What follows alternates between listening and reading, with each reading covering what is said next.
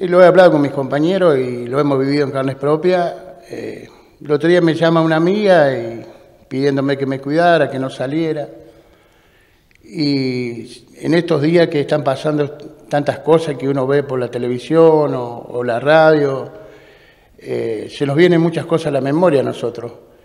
Eh, estamos cerca de cumplir los 38 años de la guerra de Malvinas y recordando aquellos días que nos tocó estar, eh, en mi caso particular, 67 días en la isla, eh, en un pozo, y lo pensábamos, eh, si a la noche no podíamos salir, porque si fumabas un cigarro te detectaba, el enemigo. no, se podía, no se podía prender fuego porque el humo te detectaba el enemigo. Eh, en el día no podíamos salir porque bombardeaban los aviones y teníamos que estar en nuestra posición. Eh, por ahí se veía como, me hace acordar estos días, que se, pone como que se va a largar llover y, era la escarchilla. Tenía que estar metido dentro del pozo. Y cuántas cosas se nos ocurren de que eh, no, podíamos salir a veces a buscar la comida porque bombardeaban. Y cuántas cosas nos pasaron. Y yo, yo estoy respetando lo mayor posible que puedo esto, porque sí, es cierto, eh, si me soporté tantas cosas cuando era más joven, ahora que soy más grande, eh, puedo soportar estos 14 días o si se extiende más, porque estoy con televisión, con el equipo de música, con el teléfono. Si hace un poco de calor tenemos el aire o tenemos ventilador y, si hace frío prendemos calefactor. Eh, estamos muy cómodos a los que nos tocó pasar en aquel momento.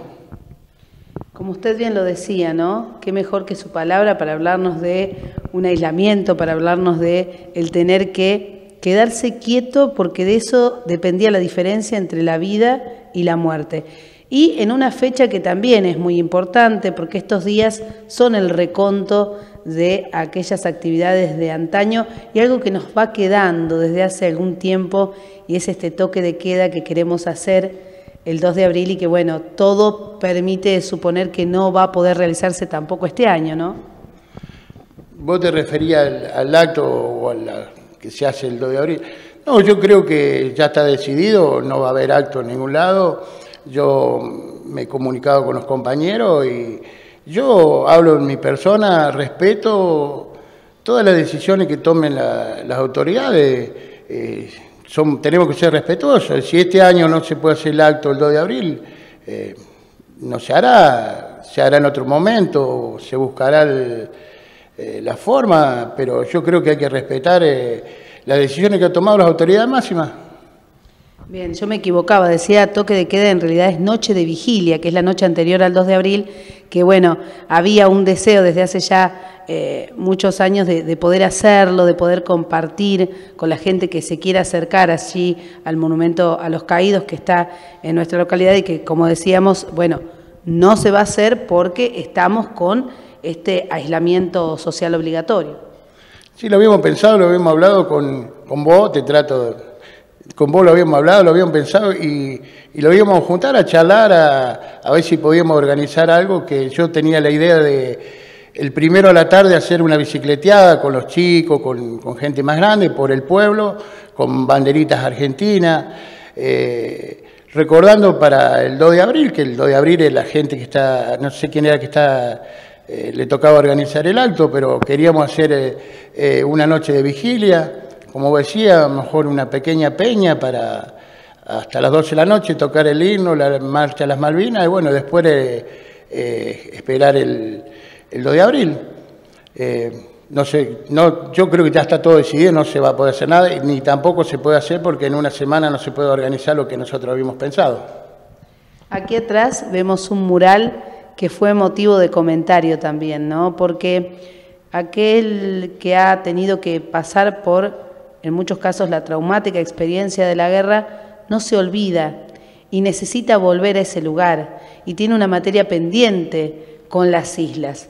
Ustedes puntualmente no han podido viajar como sí han hecho otros centros de, veteranos de la zona, pero este mural significa muchísimo como un cierre, ¿no? De, de esa herida que todavía sigue abierta, de tantos recuerdos lindos por las amistades que uno entabló y tristes por las cosas que vivió, ¿no?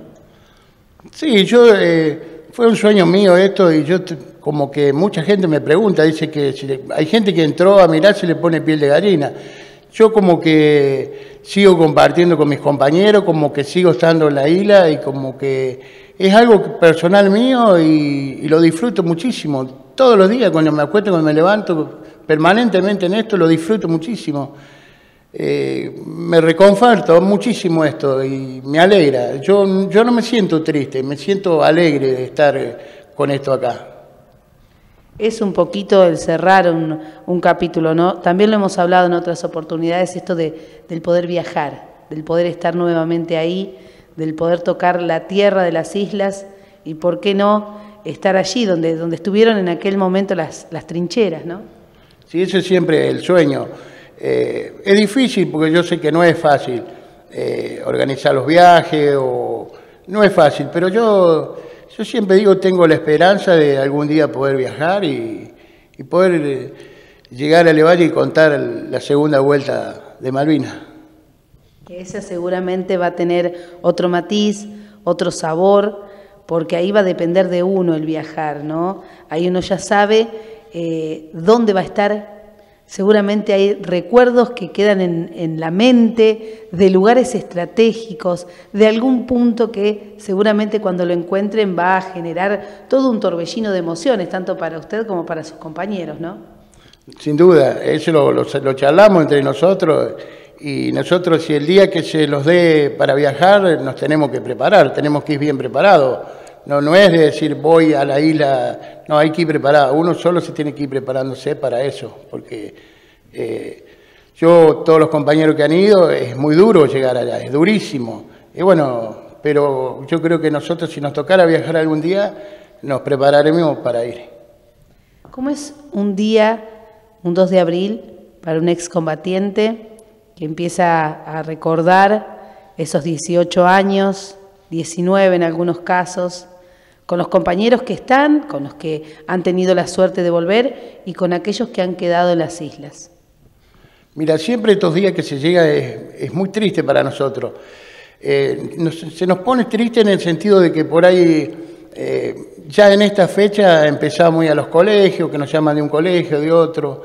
El año pasado tuvimos la suerte de ir a muchos colegios, hasta fuimos a la cautiva. Eh, a la, escuela rural, que fue lo máximo de que nos tocó pasar desde tantos años, que nunca habíamos ido a una escuela rural y el año pasado fuimos.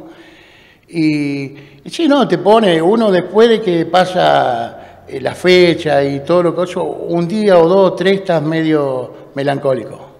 En el caso de la escuela rural, realmente los recibieron con todos los honores, eh, como los héroes que son, ¿no? Eh, se notaba mucho el trabajo que, que habían tenido, eh, poquitos, pero realmente con mucho cariño todo lo que se hizo en ese acto, ¿no?